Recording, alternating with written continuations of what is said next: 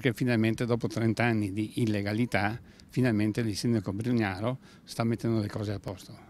Regole certe e chiare per chi vuole proporsi per la gestione del canile di San Giuliano. Questo invocano da anni le associazioni animaliste veneziane che hanno accolto con soddisfazione l'iniziativa dell'amministrazione comunale impegnata a risolvere una situazione definita intollerabile. Secondo voi fino adesso la gestione del canile non, è, non ha seguito le regole? No, perché non, non, in 30 anni non è stato fatto un bando. La procedura per la realizzazione di un nuovo rifugio per i cani prevede la pubblicazione di un bando al quale chiunque potrà partecipare se in possesso dei requisiti richiesti per garantire il benessere dei cani.